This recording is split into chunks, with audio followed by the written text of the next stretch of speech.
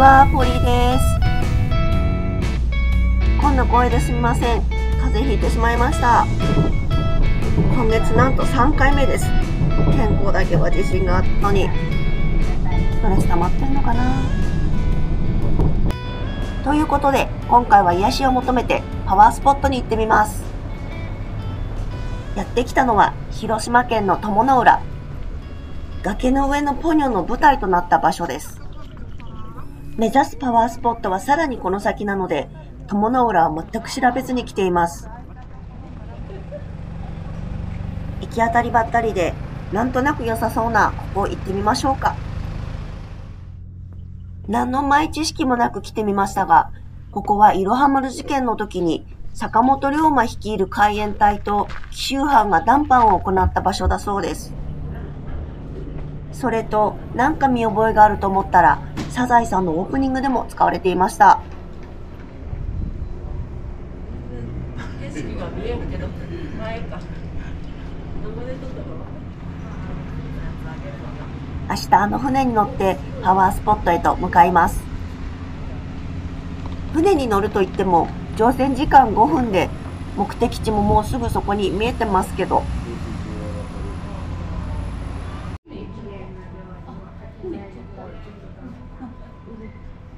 潜水島の説明雑すぎない？じゃない方みたいな説明されてますが潜水島は妊婦が横たわった形と表現されます。なんとなく歩いていたら案内板を見かけたので、硫黄寺に行ってみることにしました。緩やかな坂道を150メートル登ってくると、着きました。硫黄寺です。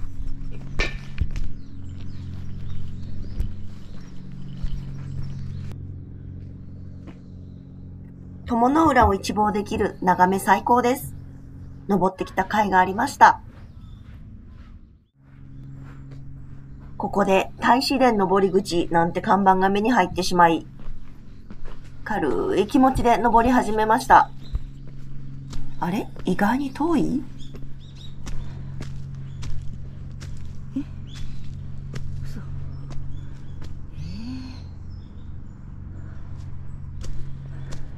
嘘嘘嘘まだ続いてる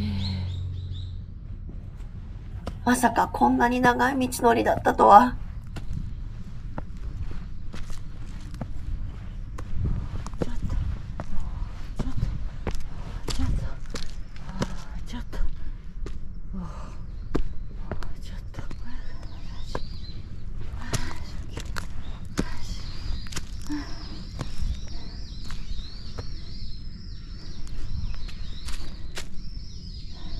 583段、登り切りました。これで絶景じゃなかったら暴れる。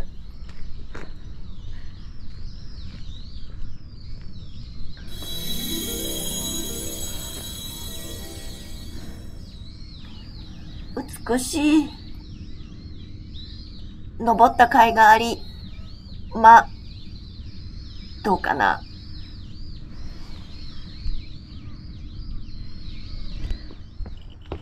下りは一瞬でした。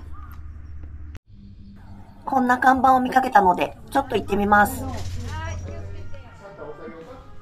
あとっても眺めのいいカフェ。でいいですか？YouTube YouTube でどうぞ。はいじゃあちょっとえー出させていただき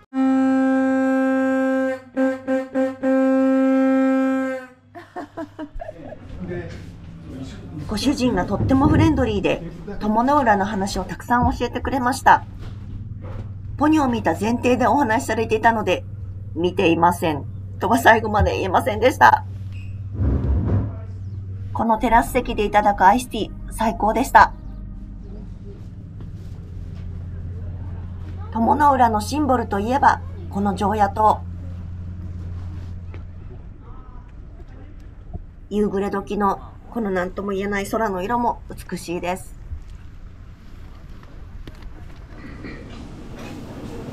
花より団子、ご飯だご飯だ。いや、その前に酒だということで、こちらのお店に吸い込まれました。ビール初心者なので、まずはグラスで頼んでみました。天使のエビを頼んだら、鉄板焼きだけど、なんだかとってもイタリアン。しょうがないので、ワインを追加。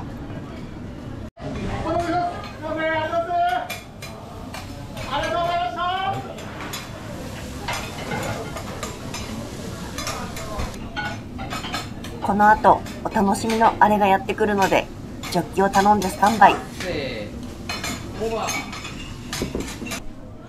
来ました来ました。広島に来たら、お好み焼き食べずには帰れません。広島の人はお好み焼きをヘラで食べるんだよね。とつぶって食べようとしたけど、え、本当？サイズ的に無理じゃない？そもそもこのヘラで合ってる？と悩み。はい、箸登場。いいんです。関東人なので。ビール飲めるようになってよかった。食べきれないと思ったけど、全然余裕。今日も美味しいもの食べれて幸せでした。ごちそうさまでした。今夜は福山駅前のこちらのホテルに泊まります。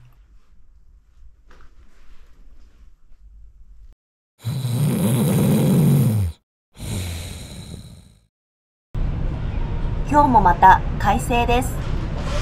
この可愛いバスに乗って再び友の浦を目指します。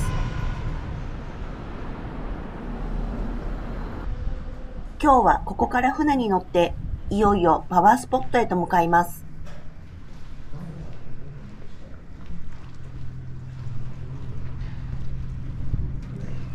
かうのは奥に見えている潜水島。仙人が酔うほどに美しい島というのが島の名前の由来だそうです。料金は往復で240円。無人島なので往復料金しかありません。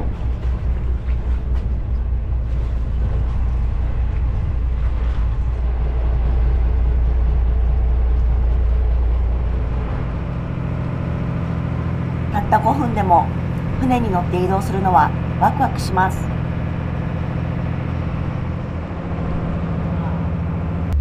あ、あっという間に着きました。島全体がパワースポットの潜水島。ここからでもパワーをビンビン感じ。私にはわかりません。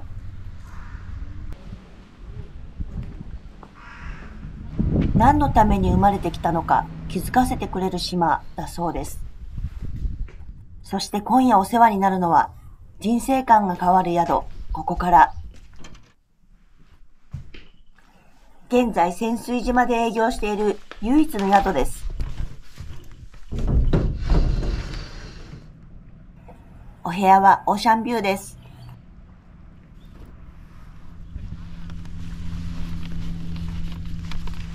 早速散策に行きましょう。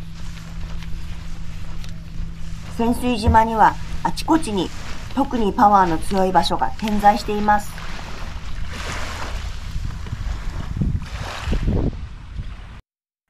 これが島のマップです。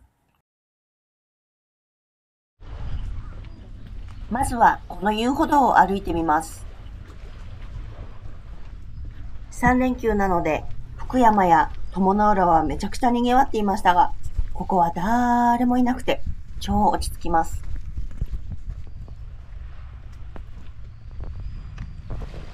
まずやってきたのは彦浦。ここにはひらめきの門というのがあって、たった3時間で自分の役割、役目に気づけるそうです。私の役割は楽しく旅して旅の楽しさをみんなに伝えることとひらめきました。というのは嘘です。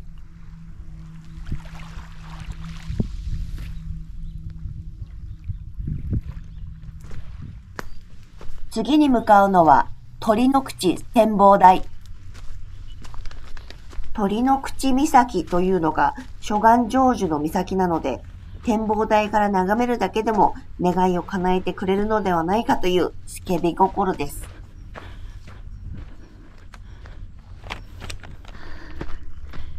到着しましたが、展望台展望台え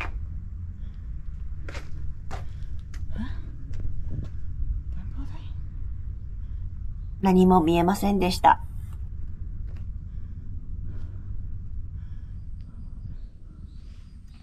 リベンジで赤岩展望台へ向かいます。この島がエネルギーが高いと実感できる場所だそうです。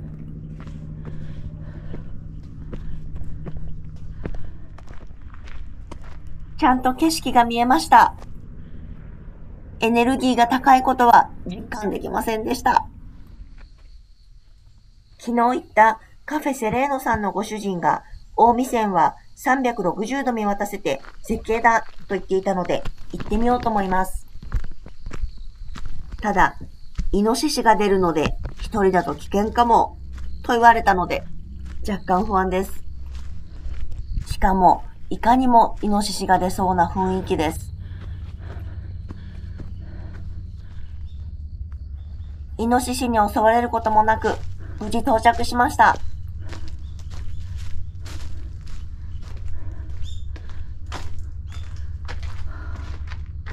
ただ、360度というのはガセネタでした。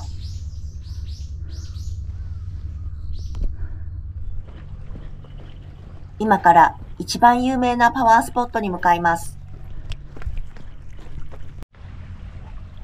五色岩です。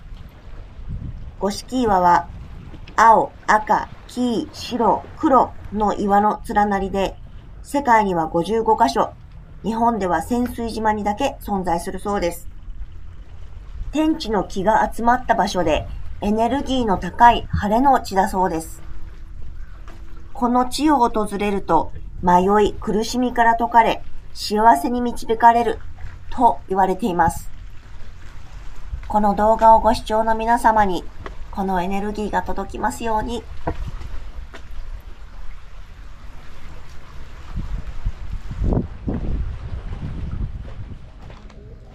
山登りをしたら喉が渇いたので、このお店に吸い込まれました。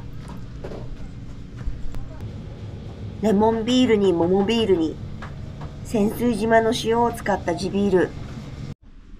お店の人のおすすめのレモンビールにしました。海を見ながら飲むビール。美味しくないはずがない。潜水島の塩ソフトもいっちゃいます。うまっ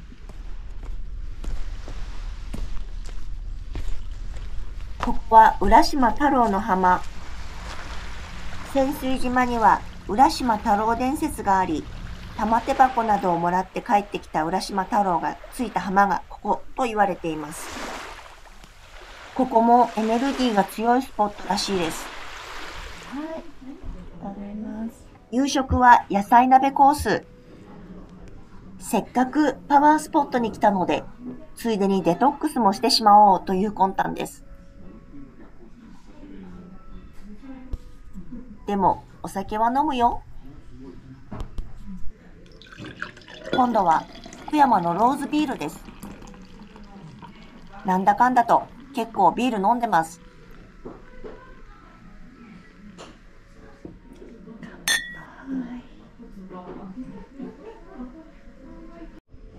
この動画をご覧いただいている皆様、ありがとうございます。今野菜が高いから、お野菜たっぷりがありがたい。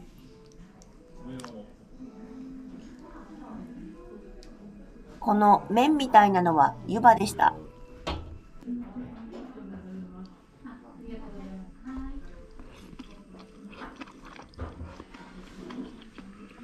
野菜だけだと物足りないかなと思いましたが、お出汁がとっても美味しくて満足でした。今日も完食。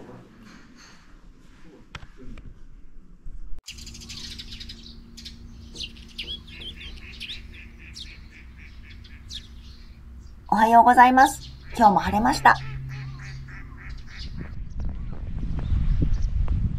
朝の散歩に出かけます。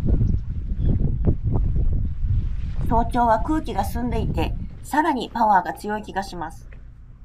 ただ、私はエネルギーとか感じられないので、気のせいかもしれません。やってきたのは彦浦。自分の役割や役目が典型のごとくひらめいて分かったらいいなという棚ぼた狙いでまた来てみました。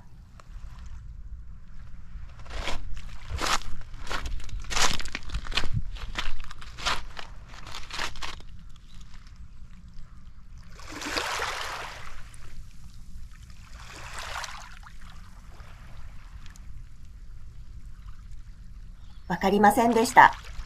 よいしょよいしょよいしょよいしょよいしょはい。はい、よいしょ。よいしょよいしょ。よいしょよいしょ。よいしょよいしょ。よいしょ。よいしょ。よいしょ。じゃあ頑張りましょう。私もへっぴり腰で餅つきます。はい、よいしょ。よいしょ。よいしょ。よいしょ。よいしょ。よいしょ。よいしょ。よいしょ。よいしょ。よいしょ。はい、頑張って。よいしょ。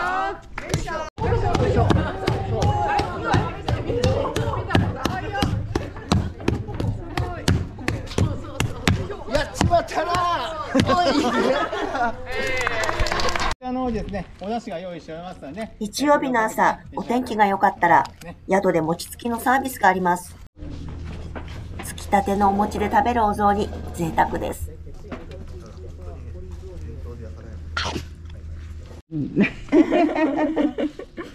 こんなもんかな。で、これを伸ばしたのを、こうやって、こうやって、こうやって、こうやって、こうやって、こうやって、こうやったものをこうひっくり返して、こう。私があまりにも不器用だったので、宿の方が作ってくれました。じゃあ、美味しそう。美味しいよね。こういうイベントがあると、自然と和気あいあいになります。焼きたてのあんこ餅、美味しすぎて、手袋外すのも忘れてます。お餅を堪能した後、この宿の名物、江戸風呂に入ります。江戸風呂とは、洞窟蒸し風呂、つまりサウナです。海藻、よもぎ、ビワの葉の3種類の蒸し風呂があります。まずは海藻蒸し風呂から。はあ、気持ちいい。サウナの後は当然水風呂。そしてここの水風呂は、目の前の海サウナーとして海が水風呂なんて最高なのですが、残念なのはプライベートビーチではないこと。普通に人がいるビーチで冬の海に突進していくという暴挙に出ることになります。すぐそばにいる家族連れの目を気にしながらも入水。すると一瞬で天国。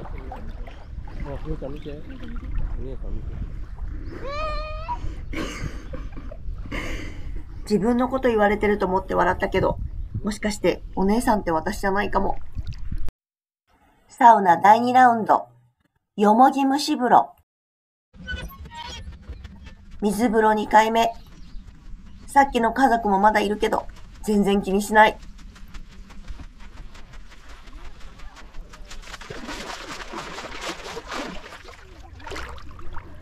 はあ、天国。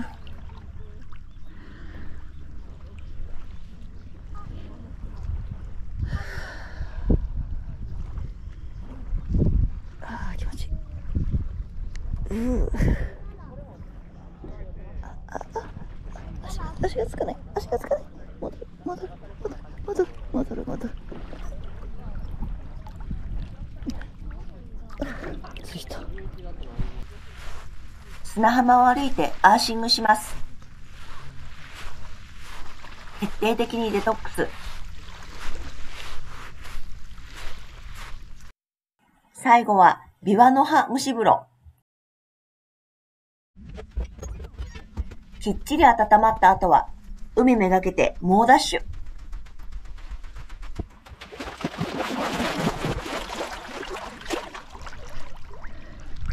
ビーチにいたカップルが、マジで？寒いやろ？と話していたのが聞こえていましたが、海から出た後、寒くないんですか？って声かけられました。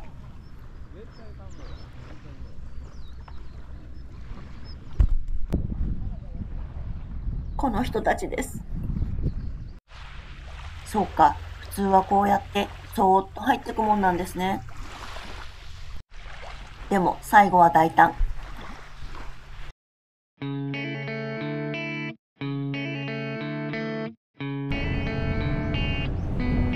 島を去る時が来ました。